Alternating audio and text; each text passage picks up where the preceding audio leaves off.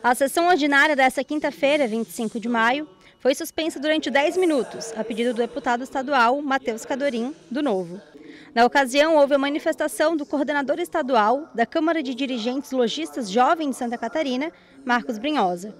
Na pauta, a 17ª edição do Dia Livre de Impostos, que acontece em todo o país, conta com a parceria de alguns empresários de diversos setores para tentar zerar o imposto na venda de alguns produtos, como combustível nos postos de gasolina, por exemplo. Esse dia é para mostrar para a população brasileira a elevada carga tributária que temos e convivemos diariamente.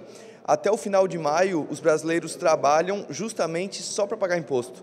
Então, 41% dos meses do nosso ano são para pagar impostos. A partir de junho é que a gente começa a ganhar dinheiro. Então, precisamos de reforma tributária, precisamos de conscientização de toda a população para cobrar o poder público nessa mudança para que a gente tenha uma vida mais leve e um país mais próspero.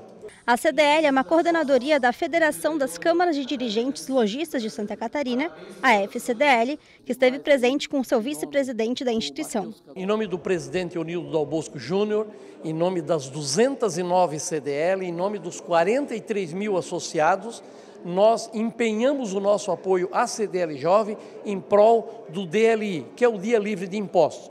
Então estamos aqui na Alesc para reforçar esse apoio a esse pessoal jovem, esse belíssimo trabalho.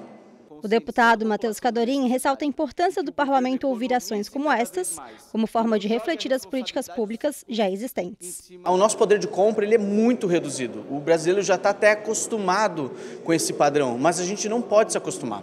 A gente precisa continuar levantando essa questão dos altos impostos que a gente sofre diariamente e que esse imposto não retorne em serviço adequado para a população. Então é importante esse trabalho da CDL Jovem de espalhar essa mensagem anualmente para a população brasileira e, obviamente, a gente tem que abrir esse espaço aqui, porque é importante que esta casa também seja consciente do nosso papel de cada vez mais trabalhar para que o empreendedor tenha uma vida mais leve, mais livre de impostos, para que ele possa gerar mais emprego e renda.